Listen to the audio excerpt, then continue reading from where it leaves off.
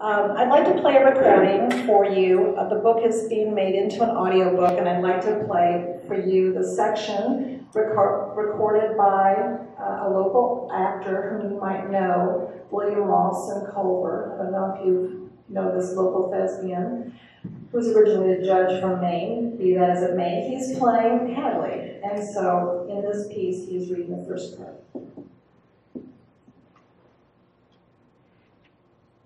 Innocence, 1911 to 1919. We had the first blizzard of the season last night, and after I'd gone to sleep, the fox came to me over the snow of my dreams like he always does. Head up, proud like, every 40 feet or so he stops and bends up his front leg, same as a pointer. He glides lightly through the white, his tail looks as thick as his body, and his chest and belly blend white with the snow. Four little feet take him anywhere he wants to go, but he won't go far. I know. He'll double back, then cross over his tracks, confuse us all in a game I don't even remember the start. In my dream, I'm in bed, looking out the window. The moon's a bright sun, leaving shadows like daytime, and the long fur on the fox's back shines a deep red, feet and tail dipped in ink. For a second, he turns his head and looks at me, looks me right in the eye. That small, wise face has a mouth that looks like it's going to smile, like we're old friends instead of old enemies. I know he's thinking, catch me if you can, Hadley. Then he's off, no sound, tail tip flicking away goodbye. I roll away from the window to my brother, who's curled up next to me. Now, I often slept next to Paul or Joe, but in my dream, it's always Charlie with me. I'm going to wake him up, so he'll go with me. I push his shoulder and shake him, and Charlie groans something. But I whisper, Come on, let's go box hunting. He smiles a bit with his eyes still shut. Then, so that nobody else in the room hears, he says, You're on.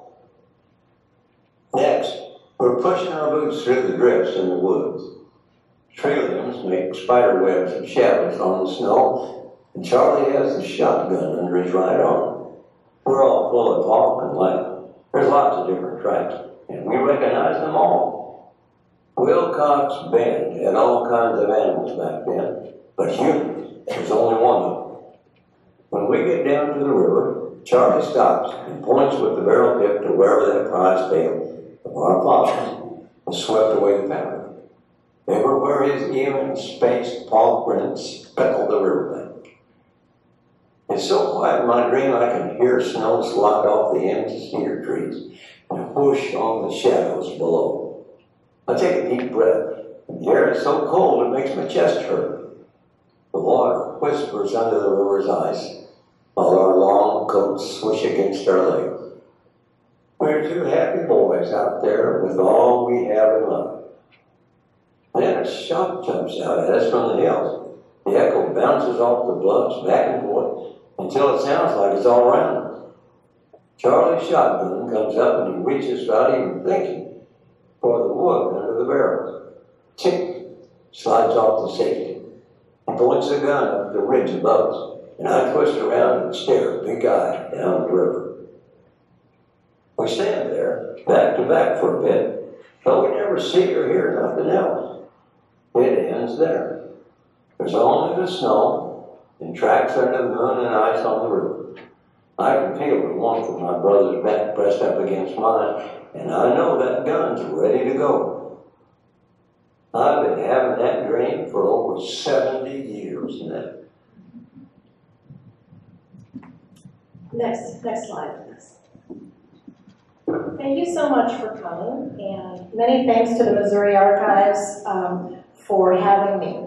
But before that, thank you for the archives and the people and the archivists and all the people who dedicate their time and volunteer many, many hours documenting history. Really without that, this book wouldn't have been possible. Between this society here or the State Historical Society, the Bushwhackers Museum in Nevada, Missouri, uh, the Western Manuscript Collection at the University of Missouri, it's just impossible to do historical research to any great depth without these different organizations. So thank you, thank you very much. So what I'd like to talk about today is the research and the writing, kind of the, some of the backstories behind the book. I know you've read the book, some of you have read the book and you don't want to hear about that, and some of you haven't read the book and I want you to book. And it's written as a bit of a mystery, so I'm not going to tell you what happens in that. So I'm going to talk a little bit about the, the writing of it. And um, the, I guess kind of the umbrella that would go over that would be the line between fact and fiction that writers have to struggle with, sometimes straddle, sometimes you get strangled by it. Anyway, for me, certainly that was a huge issue, and I'd like to talk about that and how I made decisions and kind of the progression of the book. So go ahead and go to the next one there. So, as you know, if you've read the book, I started, uh, I met Isel, Mrs. Thompson, when I was researching for this book. And at that point, I had two interviews left to do. And Isel had lived in Old Zebra, which today is called Osage Beach. It was really hard to find original members, and I was at the end of it. I had pretty much written everything. We had chosen the cover, and uh, someone popped up and said, "Oh, there's there's a, a resident, Isel Percival, and you should go talk to her. Her dad was the blacksmith of Zebra." So I went to visit her, and as you know, that's how I met Hadley. Go ahead and go to the next one. Thank you. So originally, um, I heard the story, and and I'm kind of jumping ahead in time, but as you know, it took me a year to go back and really talk to Hadley about it. I thought I would write it like this. This is academic format. This is the only format I have formal training in. It's nonfiction. It uses sources, and really, it is in effect a documentation in the narrative. Sometimes it's a textbook, and sometimes it's a little it's a little cumbersome and a little boring for some readers. It just kind of depends on if you really like the subject matter or not. Because if you love the subject matter, you want all these details, and and it doesn't bore you at all. And that's originally what I thought I would do. So go to the next one. Um, so I meet I meet Isel, and I wanted to show you. This is I wanted to bring some pictures that were not in the book. I have I think about 75 pictures, and only 13 were allowed to be in the book. But this is Isel's family. You can see they're a very authentic Ozark family. Thank you. So the first time I sit down with them, and I'm so sorry I didn't keep this, but I really didn't think it was going to get this far. that sounds like everything else, right? I didn't know it was going to come into this. But this is the this is the cardboard box that Hadley tore off uh, a piece, and here's the cardboard right here. And at some point, I copied it, and I, you know, it's before cell phones, I couldn't take pictures of things. I don't have a picture of Hadley and, and I. Um, I could have just made the whole thing up, really. I mean, there's no documentation that I was ever there. But anyway, um, this is the little little map that he makes me. And I sat there for two hours, and I was done with my interview, and um, he insisted on talking and told me this story, and I just turned on my tape recorder, turned it back, and I sat there for two more hours. And he, I, I was sort of mesmerized by his ability to tell a story, and also by the story that he was telling me. Now, at that point, I had already listened to about 98 interviews, and if you've interviewed people, you know that usually your mind starts jumping ahead when they start telling a story. You try to predict what's going to happen, especially after a couple hours of sitting there. You you're you tend to do that. But with Hadley's story, I couldn't anticipate anything that he was going to say, and when he got to the climax of the story, I just about fell of my chair. It just surprised me so much. Next one. Here's the old boys here. So there's Joe over to the left, old Joe. There's Hadley in the middle. And there's his little brother Paul, the one they call the Colonel. So um, there they are. They're at a Thompson reunion. Next one. And here is a here's a okay, this is where I take my life in my hands. Okay, um, so here's a here's a picture. If you recall, Hadley said, you know, we were friends. I, in the very beginning, he said, I just don't I don't understand what happened because we were really friends. And then I got this picture, and I got this picture from his older sister, Desi May. Desi May um, if, you recall, there was a, there's a, there's a character in the book named Ples Moore, who's kind of a really interesting character. And, and he's such a friend of the Thompsons that Desi May names her first boy after him. So this is Ples Popplewell. So he's a Thompson uh, by blood. And this is Charlie. And Charlie, you know, was involved in the murders very directly later on. And it's really interesting, there's not a picture of him that, that is any better than this. He's always kind of in the back. He's always not front and center. Who is always front and center is Joe. Joe, the ladies' man. And I love this picture because you can see he's looking at Anita Crismon here, and uh, he looks he, he looks uh, very friendly toward her. She also looks very friendly to the three guys that she's standing around, to me. Looks like she's very comfortable. Um, I, I, sit here and try to imagine who's got his arm. Does she have her arm around uh, Ples? You know, I, was, I try to imagine that. And this is one of the things that made me spend far too much time on this. I would look at these pictures and I would sit here and, and think about it and try to speculate, and I could just do that all day, and sometimes I did do that when I should have been writing. So, all right, next one, please.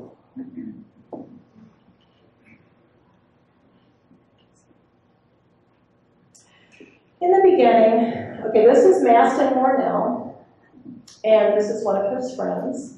And I just was wondering if by any chance the man who sent me, Greg Huddleston, are you here today? I just wondered if you sent me this email. All right, so in the beginning, like I said, I tried to write it. I thought I was going to write it academically, and I tried to write it academically. And I sat down and I wrote the story in a third person narrative. It's omniscient, it's like a textbook kind of like once upon a time there was this place along the river and it's you know 43 miles from here and it's this and that and and there's people that live here and there's a family of boys here and there's another family of boys over here and I, I just wrote it very factually. And I probably wrote about 100 pages and I gave it to someone and uh, to read because if you are one of my friends and you can read, you get stuck with reading things for me. so, anyway, and the reason there's no acknowledgement in my book is because I never kept track of all the people who were helping me. Was, but basically, if you knew me and you were really, or you were related to me in some way, you helped me in some way. So anyway, um, I, I gave it to someone, and um, I, I waited anxiously, and then I said, well, what, what'd you think? And they said, well, it was all right. And I said, no, I mean, I mean, did you, did you feel badly when it happened? Did you feel, well, you know, it was pretty much what I, it's of a feud, pretty much what I anticipated. So I thought, okay. And, and they said, well, it was kind of hard to get through, honestly. So I thought, okay, um, there's something here I need to tweak. So originally I had footnotes, um, little numbers in the text, and I thought, well, maybe I'll make it simpler. I'm bogging the reader down. I'm, I'm going to have just a lead in. I'm going to do everything at the end of the book, similar to how I ended up doing it in that one section. And I give it to somebody else to read. You know, it's like the same darn thing. And then I thought, because this is, in both times now, I'm writing, I'm writing many pages. I'm not just writing a few pages. Maybe the second time I maybe only wrote 80 pages. I don't remember. I probably not. I probably just did the whole thing all over again. So then I gave it to someone else same thing. And I'd, I'd say, well, what do you think Hadley? Well, you know, which, wait, which one was handling? And so then the third time I think I tried with this academic format, I decided that I would put longer quotes in there because I thought that he was often such a beautiful speaker. So normally in academic literature, we paraphrase long quotations. That's the rules that we're given. And we keep quotations only if they're really pertinent do we do the exact quotation. We would do a lot of paraphrasing. So, which I had done, and I thought, well, maybe I need to let the reader really read his voice. So I did some of that, and they said, well, I liked this section, these sections, but I didn't really like any of the rest of it. Anyway, I think I tried maybe four different, four or five times when I thought, you know, this dog just ain't gonna hunt. I gotta, I gotta do something else. So um, I went back and what I'd like to read you now is uh, the story of Maston Warnell, uh, who was the one on the left here, and you can see uh, his, he's got his Civil War medals here. I love this I love this picture for a lot, well, I love every picture I have, so you're just gonna use, used to be saying this, but, um, I look at, look at where their hands are. I think that's really interesting, and that's just really a different sign of the times. They're showing their affection of each other. And yet, in today, you would not probably put your hand on another man's thigh and let someone take a picture. You certainly would never pose that way. Um, and, and yet these, they're two, um, two people, I believe, as it turns out, they went through the Civil War, they were in the same regiment from Brumley together, so they're very close. And I'm gonna read you, um, these two paragraphs, and these are exact unedited words actually from Joe. Joe could often, just like Hadley, speak very eloquently, and I'll shut up and let him talk for himself. Okay, so this is a direct quotation. I did not do any editing at all. I just wrote down what he said. My mother, Myrtle Warnell Thompson, had the misfortune of getting pregnant while she was a teenager. You couldn't have done anything to a family that was more degrading. My mother had to bear both the sentiment of the people as well as her father's reputation. For her father, James Maston Warnell, was deacon of the First Christian Church of Brumley for 40 years and a Civil War veteran from the Union side. Grandpa Warnell had a mercantile business as well as a pension from the war of $50 a month. That was a lot of money back then. Pretty much made him king of Brumley, Missouri. Every Sunday morning, Maston Warnell was right there in the right row on the left hand, in the front row on the left hand side. Everybody knew that was his spot. That was his church. His wife and family lined up with him, and on winter mornings, the light streamed in through the tall windows, covering him and his family, and the spot they sat in was warm and sunny. Everybody else sat behind Maston Warnell, looking at his broad, strong shoulders and noticing his wife's new hat every Easter. So those, that is the way that both of these gentlemen could tell a story, and those are his exact, exact words. Later, after the book came out, so part of the story is, of course, when you write something like this, it never really ends because people come forward, and a gentleman came forward today and told me a nice story, and um, I would like it if you would email me that, please, because I'd like to have that story. Um, and here's one that I got.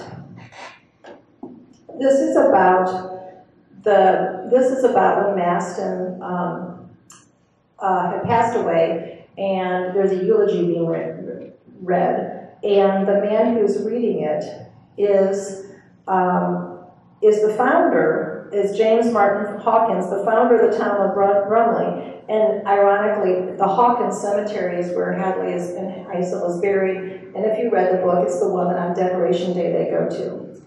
So James Martin Hawkins, founder of the town of Brumley, stepped forward and spoke. In his eulogy, Hawkins told the tale of how Warnell had saved his life during the war. With their regiment on duty in Arkansas, Hawkins, who had joined at the age of 14, became extremely ill, debilitating him to the point that he could not walk nor even feed himself. Warnell and the other Brumley volunteers cared for him as best as they could between duty shifts. When the order came for the regiment to move, it was quite evident that Hawkins would be unable to comply. As the regiment gathered equipment and prepared to move, the group of Brumley volunteers approached their commanding officer and informed him of the severity of Hawkins' physical condition. Upon consultation with the chain of command, it was decided that Hawkins and the others not able to travel would be left behind, counting on the humanity of the enemy to care for them.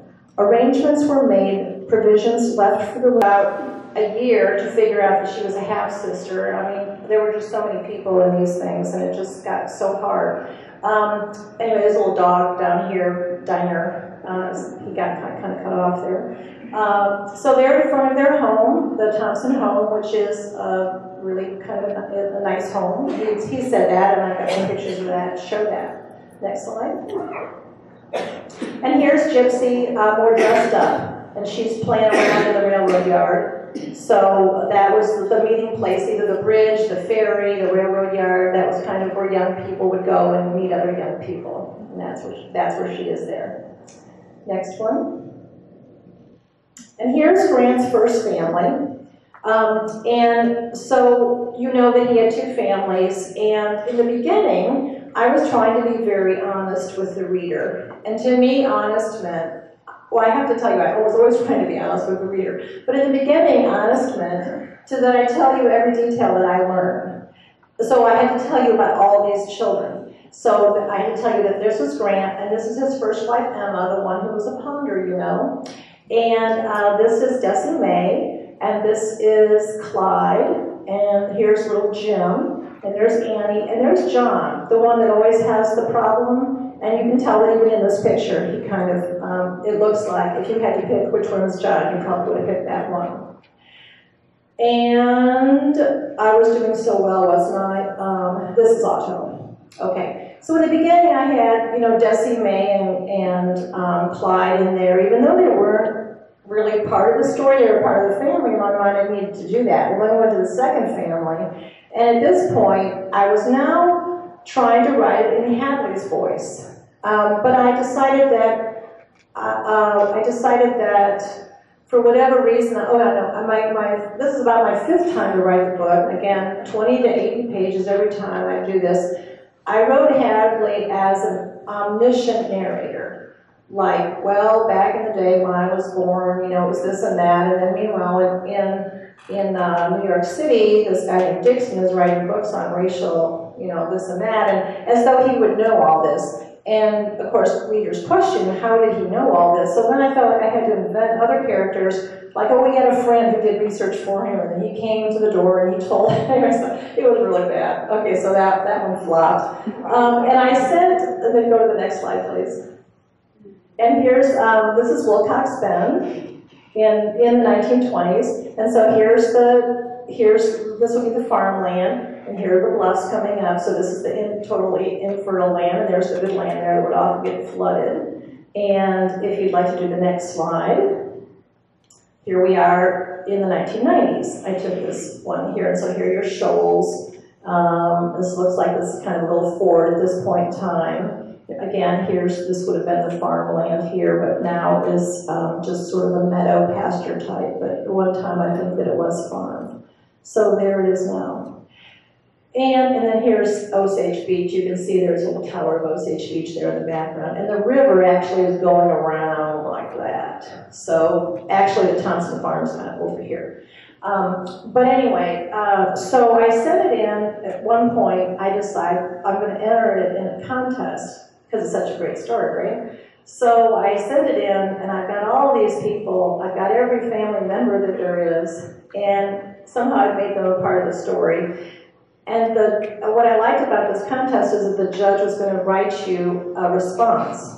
I, I, wanted that. I wanted that criticism. Well, it didn't do real well. But, and this is hilarious, the judge said, I remember his comment saying, just because you were confused, do we have to be? okay, next slide. So then I decided to do what I did, and I put that chart at the beginning, and you see that I put in bold the ones that are in the story. So I felt like I was still being honest with the reader. But I started kind of changing to, to well, if no one wants to read this story, what's the point? If you can't write it so that anybody wants to read it, either just document it and give it, give it to the archives or the, the historical society or, or give it up. So here is a, uh, this is in present day, this is the Thompson home, Thompson farm, I mean. The, the river is down here, and this is this upper field. And I think, I mean, I can imagine how far down the river goes down here. So the, the lower fields that would be like down along here, they would be flooded. But this upper field is the one that never flooded. And that was just really a prime piece of real estate to have back then if you were a river bottom farmer. Okay, next slide, please.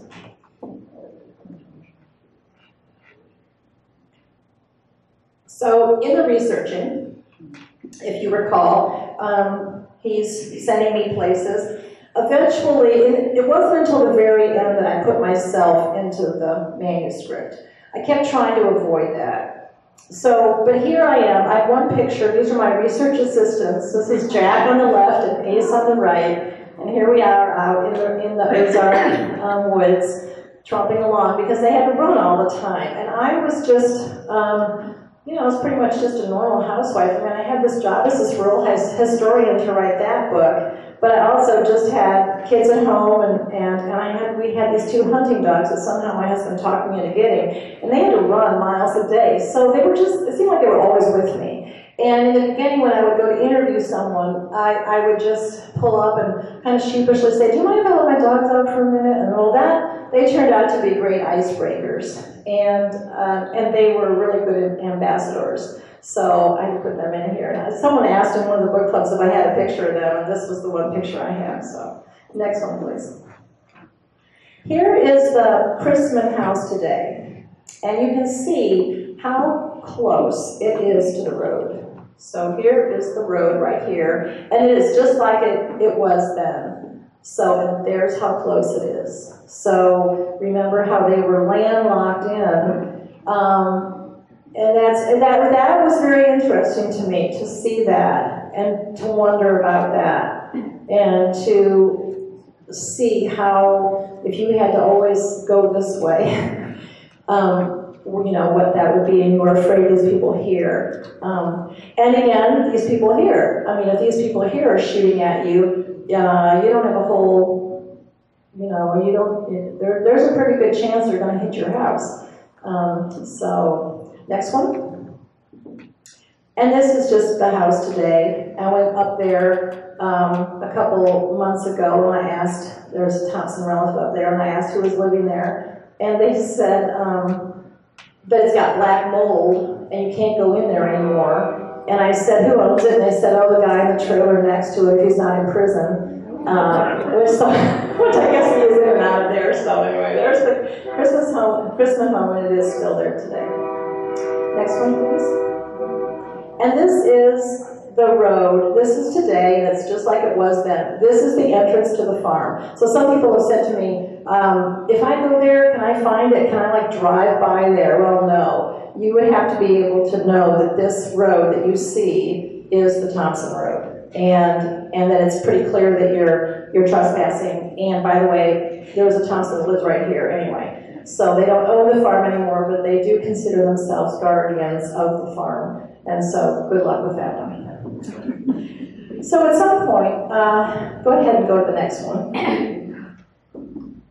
Oh yes, this is just showing how deep uh, the brush was. So there's Jack making him sit. Um, and this is just showing you how thick it is. I know a lot of you are from um, this area, and so you've seen that Ozark, um, those Ozark woods, and how incredibly thick they can be, and why the boys were able to sneak and get so close and not be seen. So um, that's just kind of a picture that's taken at the at the um, Thompson farm. So at this point, I, I start, I was in a writing group. Now I'm still trying to write the story. I've decided that since people like Hadley, I'm going to write him as a um, omniscient narrator. The reason I didn't, I, I tried using him, I think for like draft six, seven, and eight, I tried using him in his real language. Now the problem with that is, is that Hadley, uh, like all of us, didn't talk the same way all the time. Sometimes, if he was in a storytelling mode, he was very eloquent. And then sometimes he um, would throw in a lot of angst and this and that, and, and he would just sort of talk in maybe what you might think of the more stereotypical country way. And sometimes uh, the, the language was interspersed with questions to me, comments to Isel, and things like that. So from the very beginning, I had a hard time with choosing uh, this language. I tried to be very accurate in the beginning. I was trying to be really honest. And when I switched, they would say, well, your voice switched here. Now this doesn't sound like him. The reader would have in their mind what Hadley should sound like. And if he sounded too good, they would say, this obviously is you. Well, it wasn't. That was just sometimes when he got in, you know, he was going, he, like this part about Maston Warnell, it was just beautiful, beautiful language. And then sometimes he kind of hunkered on down and, and um, he was a little bit more country about it. So they said, well, I, you know, I know people from that area, whatever, and I was always, it, they talk this way. So I tried writing it in that way. Well, I sounded like an idiot. So, uh, so that draft didn't work. Okay, next, next one. Um, anyway, so I'm still, I'm still researching, meanwhile, the whole time, and I'm talking to people, and I, and I get really carried away with the research, I gotta tell you, as I really didn't know what the heck I was doing. I mean, I was working on it, but I felt like I was spinning my wheels, I kept trying, and then there was no. And I, people kept telling me Henry Ford's thing of like, oh, you're not failing, you just found 200 ways that don't work. So anyway, um, it made me feel much better. But so to hide, I would just over research. So this is from the State Historical Society, and I would just get carried away with things like this. Like this thing, this was written, I don't know if you can see it, but it's the State Supreme Court Justice is writing this dissertation on why, this is, and I, it, it says, he's talking about why uh, in the past election, I don't remember, either the Republicans or the Democrats did or didn't win. And he's writing it to someone else. And I just thought, oh, the times are so different that on his state seal um, stationery, he's going to write this whole thing. And I got it from that library because of the, the mention of the Klan. So I got totally carried I had to sit here and I had to read, this was like six pages, and I had to read all of it, even though most of it, this is the only part where he talked about the Klan. Uh, and so I totally over-researched that part. Next one, please. And here's some other things that I have. And on the, in the display case out there, by the way, there's some materials if you want to see, if you didn't see those on the way in. Um, so here's this uh, really interesting file I thought called the Mumford file, for those of you who are World War I buffs. Um, so this is our Citizens Committee on Propaganda, and they were put together, leading citizens in the area were put together, and they had all these things that they were supposed to do to make sure people were pro-war, and they would support the war effort. And these are all the telegrams that Mr. Mumford kept, and and I just found them fascinating. So I go off on this tangent. I probably spent three days, you know, at that library just reading the Mumford files. So in some ways, I did get a good background um, for some of these things. It made me feel more um, confident when I wouldn't be making statements because there's nothing worse than when you're someone like me that you don't, you were not a history major. I did not spend four years studying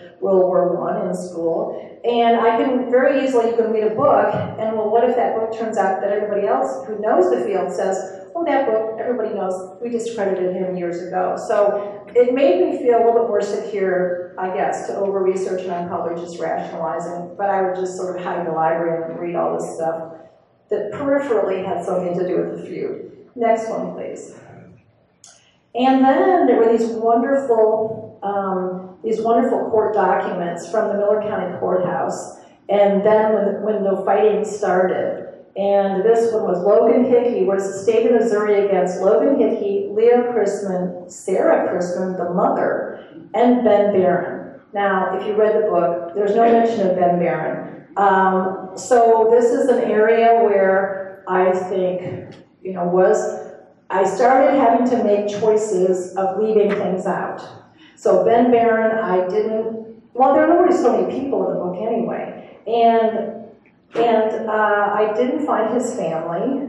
I really couldn't find a follow-up. I have no idea. Maybe he, maybe he didn't, was never convicted of anything, you know, maybe he was just sort of there and they filed suit and then later maybe his name was dropped off of that. I never really could, so I just didn't mention him. Um, so there I am straddling uh, that line where am I, I'm not telling the the reader everything. And I'm doing it because I, I want the reader, at this point I've made the decision, I want the reader to read the book.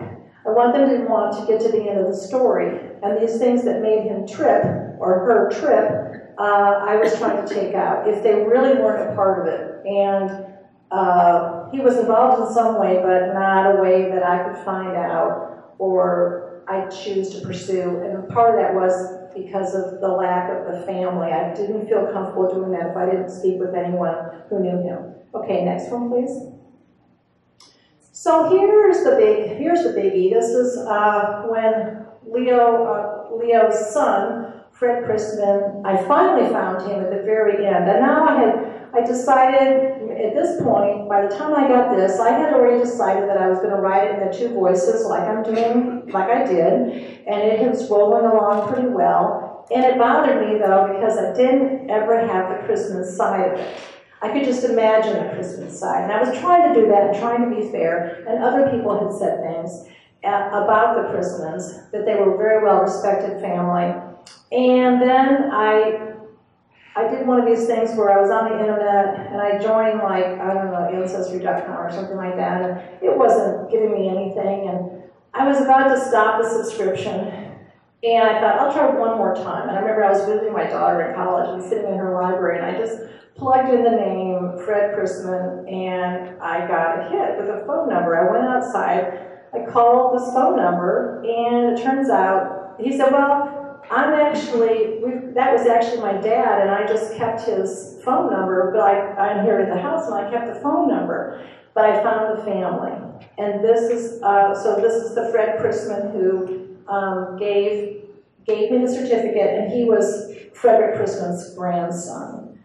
And, you know, you can, in the book, it talks about that relationship and how thankful I was that he told me his side and that he had the two, um, he had two recordings of his dad, Leo, telling their side of the story. So I learned a lot from the certificate. I also learned uh, to, I'm, I think I'm a better writer than I am a speaker because when you write, of course, you can redo, redo, redo. Uh, but when you speak, you can't do that. And I had to learn to be careful because this certificate, it has all this ornamentation along here, and the colors are the colors are true of the one that's out there that's grown up. It's fairly big, it's think 11 by 14. And I had to be careful because of the connotation of the words, not to use a word like, um, I can say elaborate, but I can't say beautiful. I mean, I don't want to say that because it sounds as though I am uh, then condoning this organization. I'm just talking about the certificate, but you just don't want to get involved in something like that. And I learned a lot about those connotation of words when I was reading the newspapers. And they would say, um, you know, 20 Klansmen in full regalia. That word regalia, that, that is like the Civil War veterans. They wore regalia, or or your your, your minister, or um, you know, or a king or a queen, and sort of all good things. And so I, I just uh, sort of had a study in connotation, and it did teach me to be careful myself, as well as to ponder when I heard certain words that were positive. Um, uh, and they were directed at something that was not positive. So it made think about it. Probably put another year on the whole to think about things like that. Okay, next one, please. All right, this is when I was when I would go out and research. Now, I never went anywhere that someone didn't call ahead of time, and I had an appointment. I didn't just like knock on someone's door, but I just thought this was such a hoot. So we got two no no trespassing signs and the vulture. And this is the door, this is the driveway. oh gosh, what have I got myself into? Okay, uh, and take a picture. Um, next one, please. Here is uh, Mr. Cox, um, Simon P. Cox, the circuit preacher, and he's mentioned in the book, and we don't get to see him. He's on that, that scene about the day Barney got saved, and, and uh, I just thought you might like to see him. There he is at a wedding. Okay, next one. This is Ples Moore, and here's another one, and it's just like the one, looks just like the one in the book, and I didn't realize I had two of them because he loves this pose. He's always posing just like this, and I like this. I don't, I don't know. See, notice his little cuffs here that he hasn't had time to get hemmed or something. Was it because he was a bachelor? Um, did he just buy the suit and he had to run off and get it taken, you know, the picture taken because he looks so good? But anyway, um, there's Ples. I didn't use this one in the book because it has ink spots on it but I like it for the cuffs and I loved his shiny shoes. And that was a, that was a, a source of irritation for people, that his shoes were shiny. Because if you're a working man, you're not walking around with these shiny shoes on. You were to be suspect. But the Thompsons didn't feel that way. Next one. And if you are interested in Tuscumbia, Missouri, and seeing the old courthouse, I just want to show you that it's still here. So this, the, the, they actually had the trials upstairs, and it's in the back. And it looks, there's nothing back here, it's just because it drops off against the river. It's up on the river bluff, so it's really beautiful. It's still there. Um, you can look in the windows. Thankfully, it hasn't torn down, been torn down. I think they people have tried to do something with it, and it's just, you know, going to take so much money. That's probably not gonna happen real soon, so. And I think we have a few more here, yep, okay, so next one, please. And this is, um, a Thompson in front of the barn, that's in the, that's in the book.